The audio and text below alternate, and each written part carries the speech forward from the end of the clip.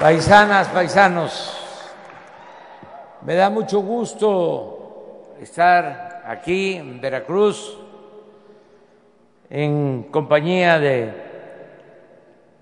el gobernador de Veracruz, Cuitlagua García Jiménez, nuestro amigo, nuestro hermano, nuestro compañero.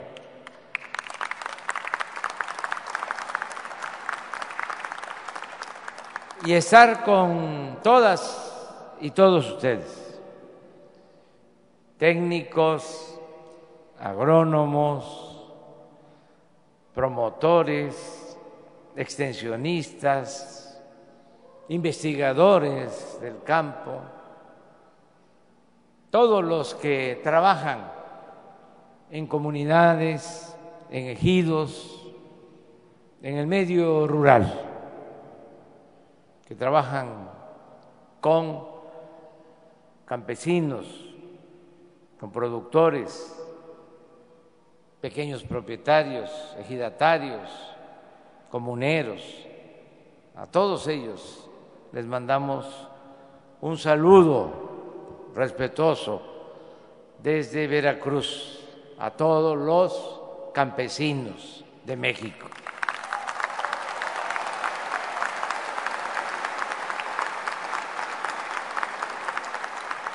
El propósito de este encuentro es el que sumemos esfuerzos, voluntades, para hacerle frente a un desafío que se nos presenta, el de la inflación. Estamos saliendo de la pandemia que nos causó mucho daño, no solo en lo material, sino en pérdidas de vidas humanas. Nos dolió mucho. Y salimos, a pesar de los pesares, porque nos unimos todos los mexicanos. Ayer decía yo y lo repetí en Monterrey y en Guadalajara, de que gracias a nuestro pueblo, a sus costumbres, sus tradiciones, podemos enfrentar calamidades. Siempre nuestras culturas nos salvan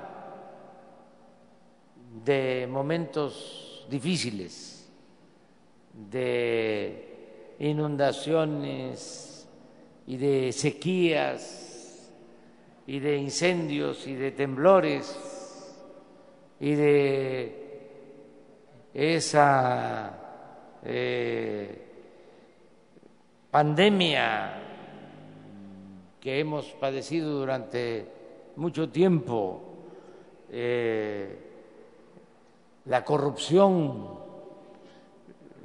porque esa peste eh, quería destruir a nuestro país, porque no olvidemos que la corrupción es lo que más daña,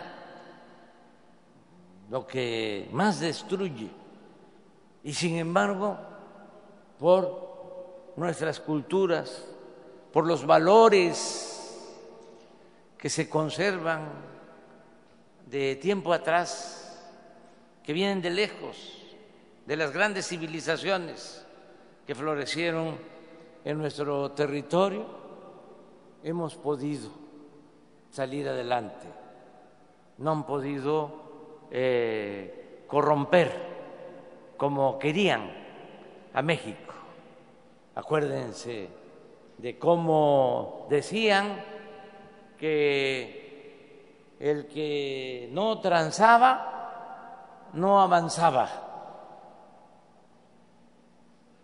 y de que la corrupción era parte de la cultura del pueblo de México. Y decían, político pobre, pobre político. Y una vez le preguntaron a un cacique que siquiera la moral y dijo que era un árbol que daba moras y que valía para pura, eso no lo puedo decir. Pero quisieron eh, corrompernos a todos,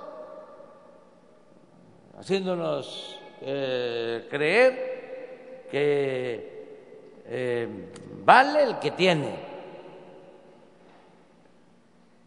Sin embargo, abajo, en nuestras familias, nuestros pueblos, se mantuvieron otros valores. La honestidad, el hacer el bien sin mirar a quién, el cuidarnos unos a otros, el ser bondadosos, fraternos. Ahora viene la pandemia ¿Y por qué salimos? A pesar de lo terrible que fue, porque nos cuidamos en nuestras casas, por nuestras familias. Siempre he dicho que la familia es la principal institución de seguridad social en nuestro país. No es el ISTE, no es el seguro, no es la familia. Aquí estamos unidos. Daba yo el ejemplo que cuando empieza la pandemia, donde hay más desgracias, es en los asilos de ancianos de los países europeos. Pero en México no hay muchos asilos de ancianos, porque nosotros cuidamos a nuestros padres, a nuestros abuelos, los tenemos en nuestras casas. Todo eso es cultura. El que eh, estén nuestros hijos viviendo en las casas con todo respeto, en otros países van creciendo, llegan a la adolescencia y ya les dicen, ahueque que lala, ya, búsquenle. Acá no es así, hasta abusan, se quedan más tiempo, no se quieren ir de la casa. Son costumbres, tradiciones, eso es cultura y eso nos ha ayudado mucho, siempre. Y eso, repito, es lo que impidió el que terminaran de destruir a nuestro país. Entonces, así como enfrentamos todos juntos la pandemia, Ahora tenemos que enfrentar este nuevo desafío, también externo, que eso no surgió en nuestro país, sino esto se origina, este nuevo problema, por la intervención, invasión de Rusia, Ucrania y la guerra, y eh, la falla en eh, el manejo de la política. Tienen tacha los políticos con más influencia de las grandes potencias y de organismos internacionales como la ONU, porque se debió evitar la guerra. Para eso es la política entre otras cosas, para evitar la confrontación, para evitar la guerra. Pero no, eh, se cerraron, no hubo diálogo y eh, se afecta a todo el mundo. Lo más doloroso es que pierden la vida inocentes y hay eh, muchos refugiados que tienen que abandonar sus comunidades, que tienen que abandonar sus pueblos y también se afecta toda la economía mundial. Y eso trajo ahora la inflación, que es el aumento de todos los precios y es un asunto mundial que está afectando. Les está afectando mucho, mucho a los europeos. Son los que tienen más inflación, pero también afecta en otros continentes y afecta en Estados Unidos y nos afecta a nosotros. En el caso del último reporte en Estados Unidos del mes de abril, ellos tienen una inflación de 8.3%. Nosotros tenemos en abril 7.7%. Es importante que se conozca cómo se conforma este índice inflacionario. Eh, nosotros, porque le atinamos, ya llevamos tiempo hablando de que hay que producir lo que consumimos. si se acuerdan de eso, no? Que, ser, que hay que ser autosuficientes. Esta es una diferencia con los tecnócratas neoliberales. En la época de Salinas, el que era secretario de Hacienda, Pedro Aspe, llegó a decir que no importaba eh, dejar sin apoyo al campo, porque en un mundo globalizado se podía comprar afuera lo que se necesitara. Y se les decía que si cuál era la política industrial que tenían, y decían que la mejor política industrial era la que no existía. Entonces se abandonó el fomento a las actividades productivas. Y esto mismo se aplicó en la política energética. Exactamente hace 40 años, el periodo neoliberal duró 36 años, dejaron en el abandono la industria petrolera. La última refinería que construyeron fue la refinería de Salina Cruz hace 40 años y se acabó eh, por completo eh, la industria petroquímica. Éramos de los países con más desarrollo petroquímico en el mundo y todo se convirtió en chatarra. Bueno, eh, por el desarrollo petroquímico llegamos a ser autosuficientes en fertilizantes. No se compraba el fertilizante, todo se producía en el país pero vendieron las plantas, privatizaron las plantas. Nosotros eh, estamos cambiando esa política.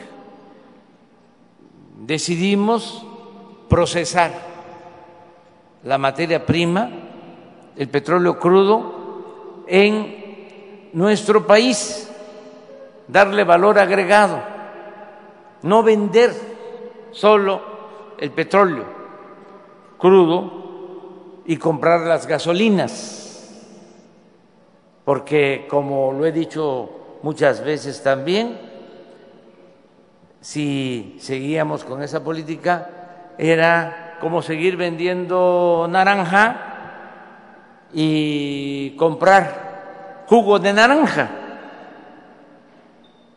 Decidimos, por eso, eh, seguir extrayendo petróleo de manera racional. Tenemos como propósito no extraer más de dos millones de barriles diarios. Para que tengan una idea, en los tiempos del gobierno de Fox llegaron a extraer tres millones cuatrocientos mil barriles diarios y nosotros estamos extrayendo en promedio la mitad, porque tenemos que dejarle a las nuevas generaciones esta riqueza que es de todos. No es que no haya petróleo, hemos invertido en exploración y tenemos para sacar el doble de petróleo, pero no vamos a actuar de esa manera, eh, quedándonos nosotros, nuestra generación, gastándonos la herencia de nuestros hijos y de nuestros nietos. Pero además, nosotros no tenemos un doble discurso, no somos hipócritas, de esos que andan ahí promoviendo el que hay que enfrentar el cambio climático que ya no hay que seguir utilizando recursos como el petróleo. Sin embargo, cada vez están produciendo más. Esa hipocresía no. Nosotros con hechos estamos demostrando que cuidamos el medio ambiente. Les doy algunos datos no vamos a extraer más petróleo que el que se necesite para el consumo interno de México. No hemos dado una sola concesión para la extracción minera.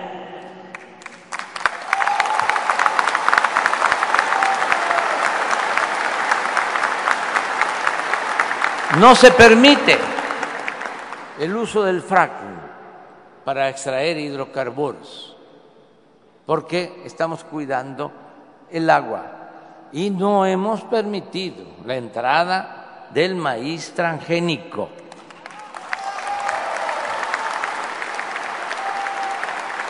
Hechos, no palabras. Entonces, esta política nueva, pues eh, significó desde el principio reparar las refinerías y empezamos a invertir porque estaban a punto de convertirse en chatarra las seis refinerías abandonadas. Estaban eh, produciendo al 35% de su capacidad empezamos a invertir, llevamos ya eh, destinados más de 40 mil millones de pesos que se han invertido para cambiar plantas en las seis refinerías y ahora el resultado es que ya estamos importando, estamos comprando menos gasolinas en el extranjero estamos comprando 45% menos de gasolinas. Y esto pues nos significa que podemos mantener precios justos en la gasolina. La gasolina hoy en México es más barata que en Estados Unidos.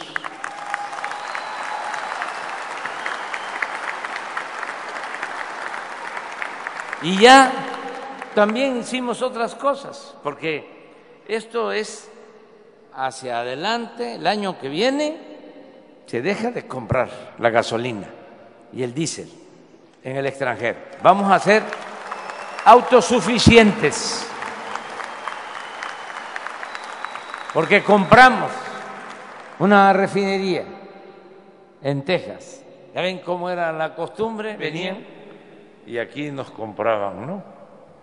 Este, nuestras plantas. Ahora, con todo respeto,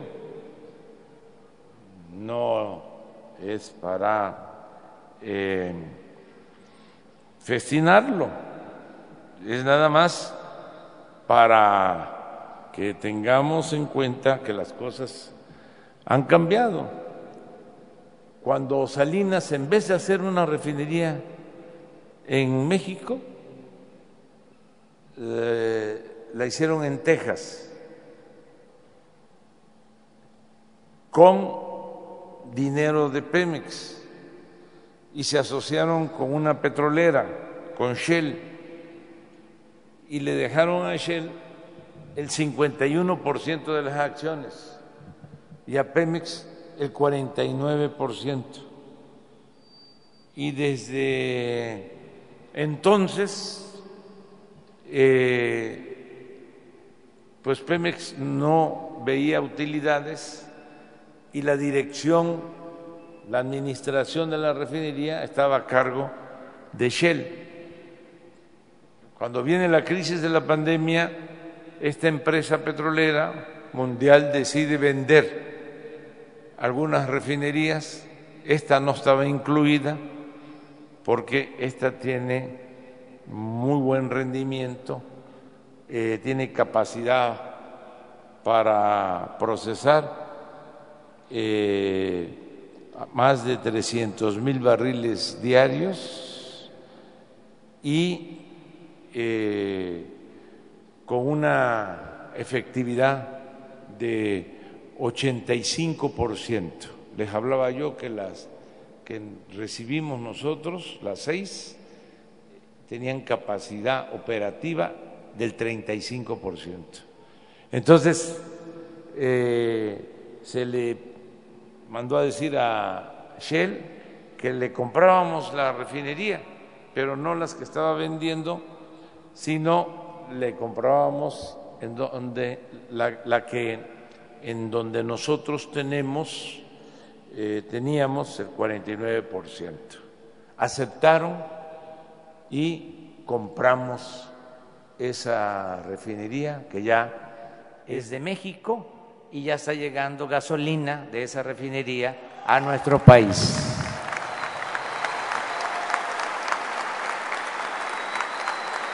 Ya saben también que se está por inaugurar la refinería de Dos Bocas, también para procesar más de 300 mil barriles diarios, y estamos eh, haciendo una planta, una coquizadora para exprimir más el combustóleo, sacarle gasolina y no solo hacer más rentable esta planta, sino eh, dejar de contaminar. Todo esto se está logrando y esto nos permite que ahora con la inflación el sector energético de México solo está afectado en 0.6%, porque no hemos aumentado los precios, ni van a aumentar en términos reales los precios de la gasolina, del diésel, de la luz, del gas. Como tenemos esto controlado, el impacto es 0.6 de los 7.7 de inflación, solo 0.6 son energéticos. Nada más piensen si eh, dejamos libre, sin el apoyo que le estamos dando eh, para que no paguen impuestos los consumidores de gasolina, si dejamos libre el precio, se va la gasolina a las nubes y si aumenta la gasolina, ya lo saben ustedes, porque no hace falta ser economista, este, para saber que si aumenta la gasolina, sube todo. Solo los economistas tecnócratas son los únicos que andan despistados y no se dan cuenta de esto. Pero el pueblo es sabio, el pueblo está bien avispado, bien despierto. Entonces, no vamos a aumentar los precios de los combustibles. En Estados Unidos, del 8.3% de inflación, 2.1 es inflación por energético. Están a punto de emitir un decreto porque van a tener que controlar los precios. Ahora en la frontera, y lo vamos a seguir permitiendo, nuestros amigos, vecinos de Estados Unidos llegan a cargar a las gasolineras o gasolinerías que están del lado mexicano. Y lo vamos a seguir permitiendo porque nosotros no queremos que haya fronteras, nosotros somos partidarios de un mundo sin frontera, nosotros queremos que haya fraternidad universal.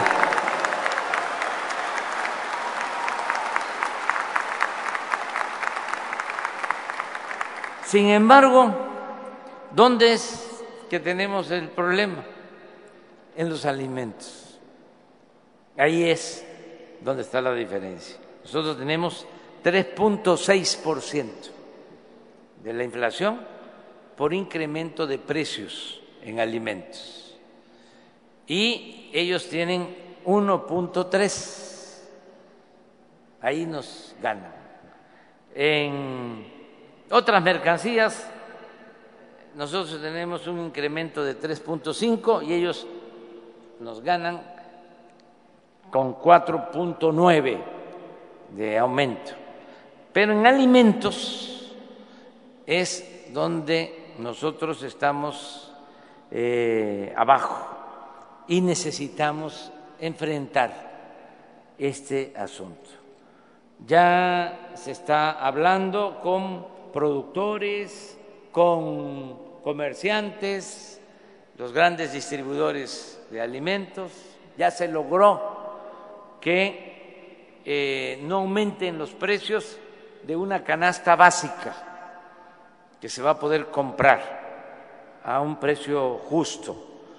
Ya suscribimos este acuerdo y lo que es maíz, frijol, arroz, azúcar, eh, atún, sardina, 24 productos, alimentos básicos, van a estar eh, con precios justos.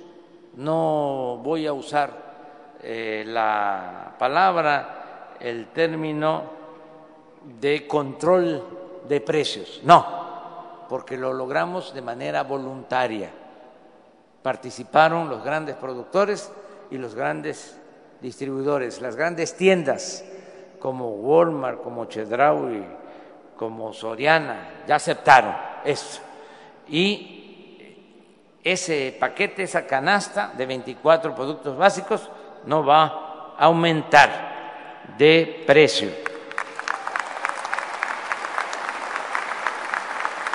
Y se los agradecemos mucho no les afecta tanto, al contrario, ellos este, contribuyen, no les afecta mucho porque el que sabe de comercio conoce que hay artículos que les llaman ganchos, que dejan muy poco, pero al ir a una tienda de esas eh, pues no solo van a ir a comprar la canasta básica o lo más necesario, de repente compran otro artículo y ahí es donde ellos tienen utilidad. Entonces, esa es eh, la práctica comercial y eh, no siempre la gente, afortunadamente, compra lo básico. También compran otras eh, eh, mercancías, compran la ropa, tienen que comprar el calzado y ahí ya tendrían ya una utilidad razonable en el comercio. Entonces, vamos a llevar a cabo esta política. También otra acción es que mientras no tengamos autosuficiencia alimentaria, estamos quitando los aranceles, los impuestos, para que el que quiera vender en México alimentos básicos pueda venderlos en el país a precios bajos, sin que tengan que pagar impuestos. Acabo de hacer una gira por Centroamérica y por el Caribe y el primer ministro de Belice se quejaba de que ellos, y aquí están seguramente amigas, amigos de Quintana Roo, sí están, ¿verdad? Conocen bien esta historia de que los hermanos vecinos de Belice pues compran todo en Chetumal. Y me decía el primer ministro, estamos comprando pues eh, como 500 millones de dólares en México y México solo nos compra un millón. Este, eh, no hay equilibrio. ¿Y por qué en México solo nos compra un millón? Ah, porque si queremos venderle ganado, que tenemos, y si queremos venderle maíz, tenemos que pagarles impuestos, tenemos que pagar un arancel, así se llama. Pues ya di la instrucción que se quiten esos aranceles.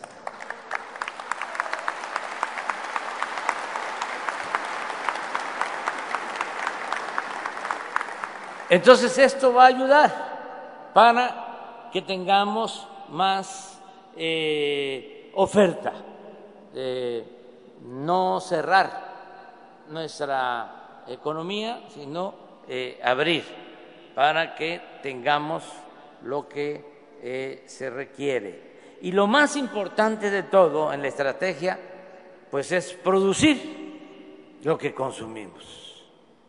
En eso estamos de acuerdo.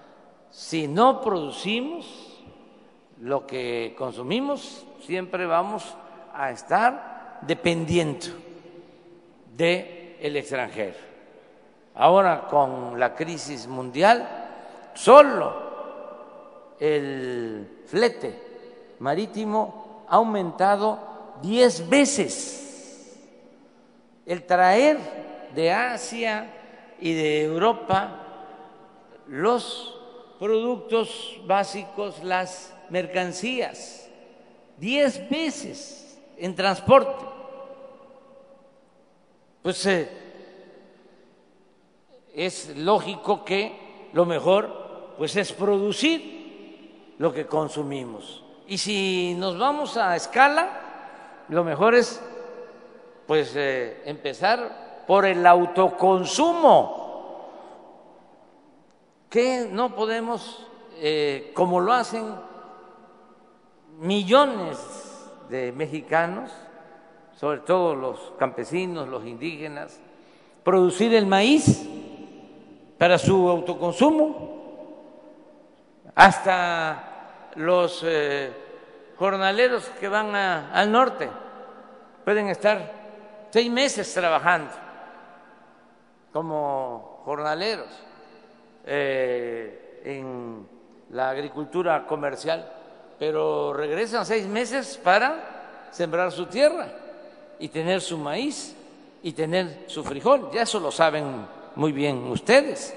Pues ahora tenemos que reforzar ese sistema de producción, de autoconsumo, que podamos sembrar maíz, que podamos sembrar frijol, que podamos sembrar arroz, lo que consumimos. ¿Y con quién podemos hacer eso? Pues desde luego que con los campesinos, mujeres y hombres, porque en el campo trabajan mujeres y hombres. Ahora eh, que voy a ir a Puebla, voy a pasar por Esperanza, voy a pasar por Palmar de Bravo y estoy seguro, aunque yo pase a las 4 o 5 de la tarde, ahí están trabajando la tierra, hombres, mujeres y hasta niños, toda la familia trabajando la tierra.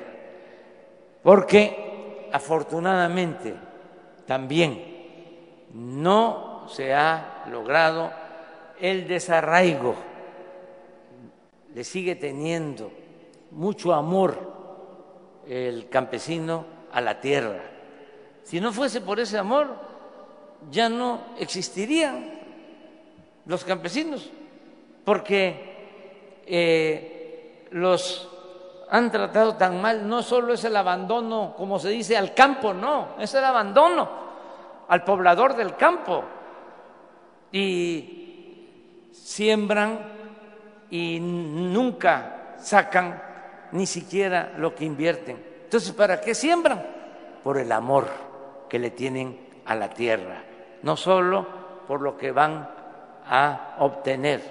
Entonces, ahora nosotros tenemos que apoyar a los productores del campo, como lo estamos haciendo desde el principio, pero ahora más todavía. Tenemos programas como el Sembrando Vida, hay que eh, decirle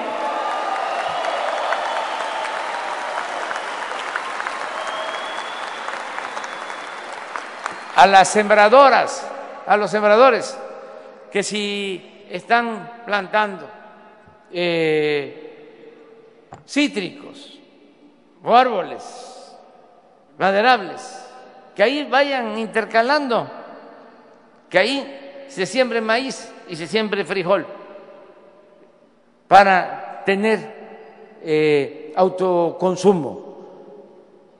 Esa es la orientación que estamos dando. Y lo estoy haciendo aquí con ustedes, porque ustedes trabajan ahí abajo, pero también eh, lo voy a estar, repite y repite como disco rayado en las mañaneras. Todos a sembrar jornada, campaña de producción para el autoconsumo.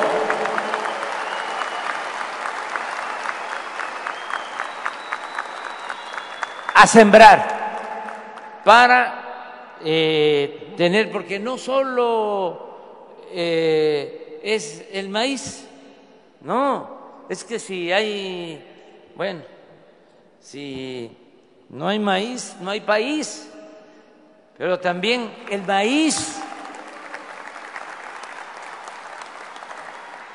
es la gallina, es el puerquito, es la economía campesina. Hay un ejemplo de economía campesina en Puebla, en Tlaxcala, por ejemplo, en Tlaxcala. Eh, tienen muy poca superficie son parcelas muy pequeñas, pero ahí tienen maíz y producen lo que consumen y un poco hasta para vender, hasta para el mercado. Y en el patio, en el solar, ahí están las gallinas, ahí tienen una, tienen dos vacas, eh, ahí están los chivos, y todavía adentro de la casa está el telar. Fíjense lo que es una economía integrada, economía campesina integrada. Eh, me quito el sombrero ¿sí? para estos productores del campo en todo México. Es así. Entonces lo que tenemos que hacer es decirles, vamos adelante, en qué ayudamos, nosotros nos vamos a poner de acuerdo para ver eh, qué es lo que más puede ayudar en estos momentos.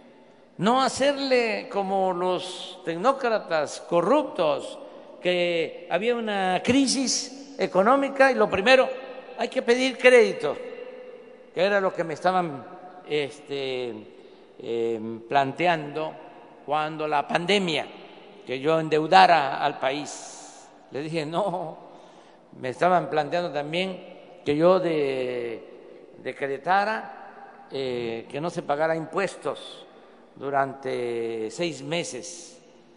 Imagínense, nos quedamos sin ingresos, ¿cómo vamos a ayudar a los más necesitados?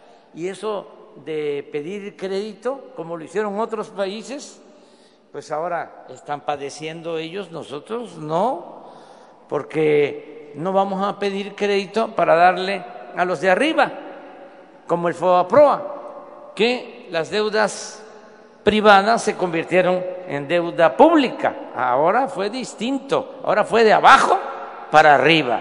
Nada de que hay que darle a los de arriba porque así, si se les da a los de arriba, llueve fuerte y gotea a los de abajo. Que se vayan al carajo con ese cuento.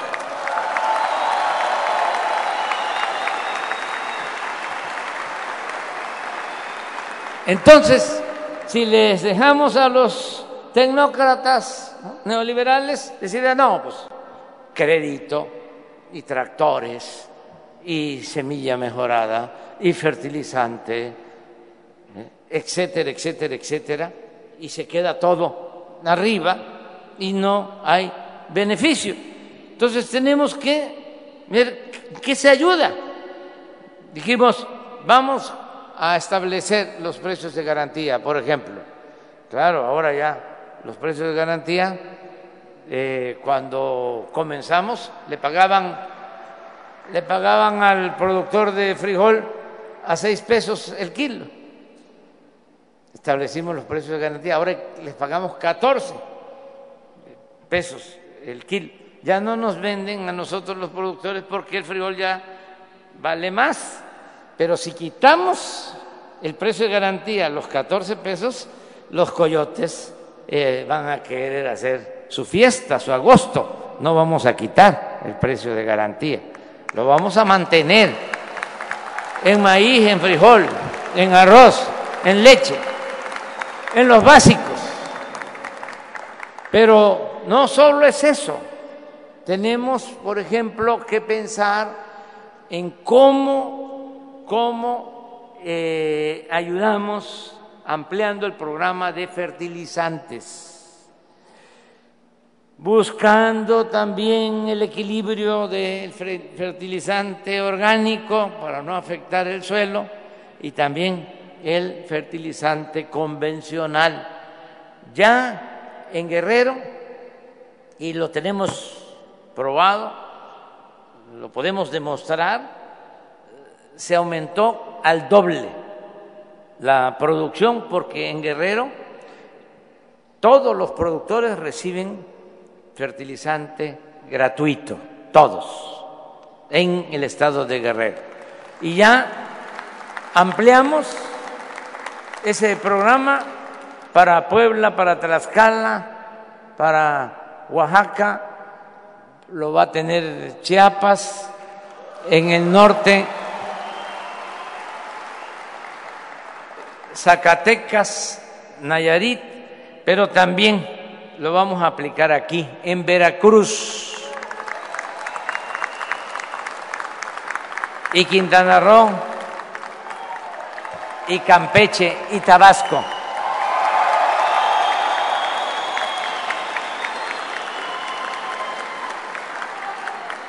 Lo que nos falta, vamos a eh, reforzar la producción de fertilizantes. Nos dejaron unas plantas viejas, hicieron una tranza. Pues aquí, en Veracruz, no mis paisanos veracruzanos que son eh, muy honestos y derechos, no, sino unos tecnócratas que compraron una de esas plantas que privatizaron desde el gobierno de Salinas, que la habían dejado ahí arrumbada, de repente la compraron en el sexenio pasado y supuestamente valía 300 millones de dólares, supuestamente. Estaba parada y la pagaron en 500 millones de dólares. Y eh, hay un juicio y ya el responsable está devolviendo 200 millones de dólares. Ya devolvió 100 y va a tener que devolver los otros 100 millones de dólares. Y esa planta ya está produciendo fertilizante y la vamos a mejorar, la vamos a ampliar. Lo mismo hicieron con la compra de otras plantas en Lázaro Cárdenas, Michoacán. Y vamos ahora a rehabilitar esas plantas lo más pronto posible para producir el fertilizante y entregar de manera gratuita el fertilizante a los productores. Ese es el compromiso que vamos a llevar a la práctica.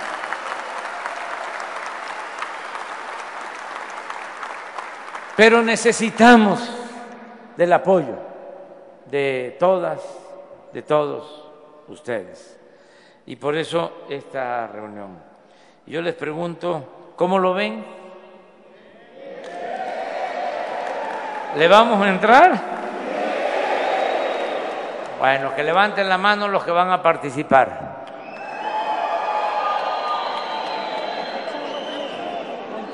Vamos a enfrentar la inflación porque afecta mucho. Estamos, estamos aumentando como nunca se había hecho en más de 40 años el salario de los trabajadores.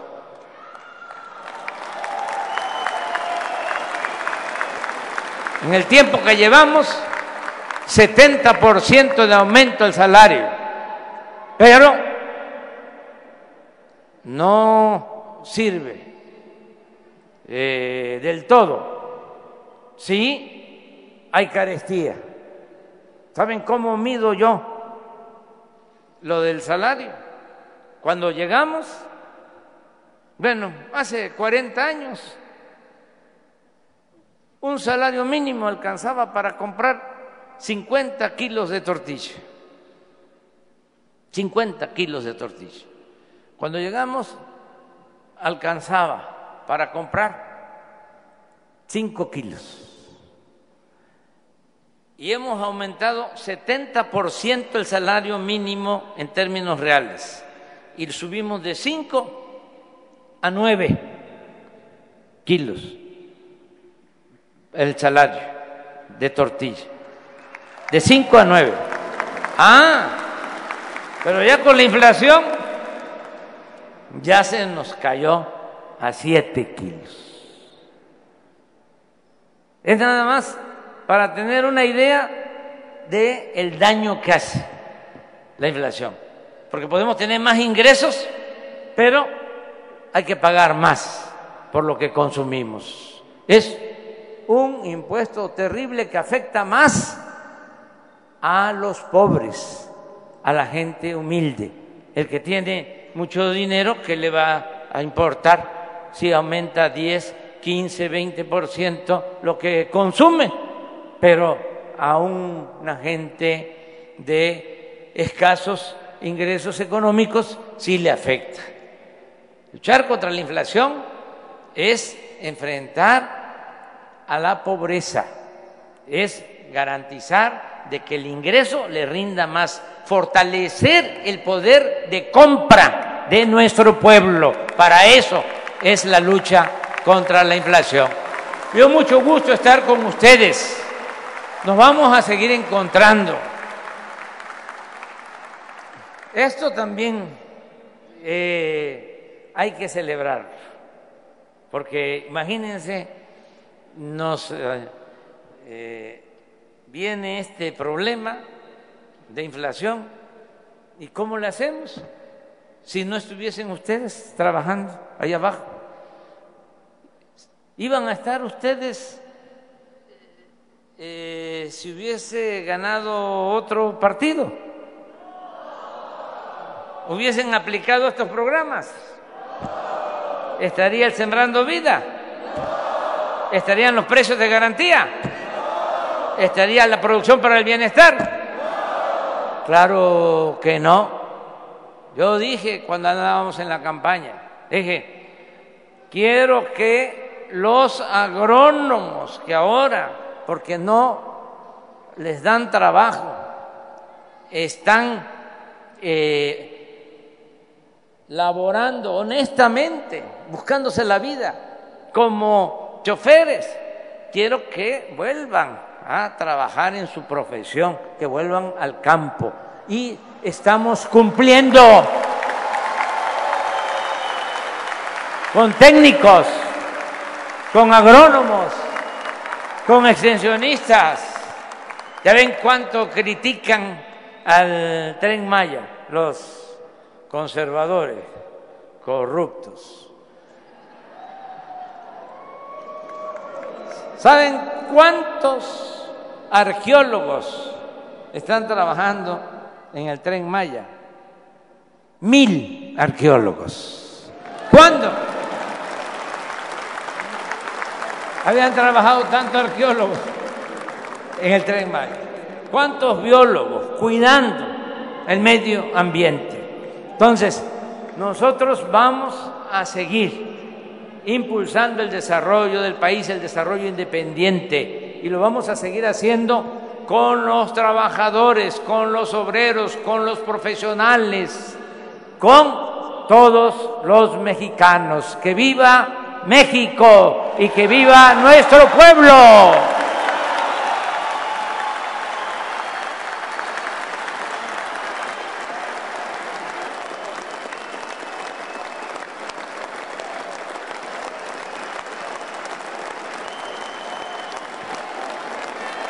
Le solicitamos guardar el debido respeto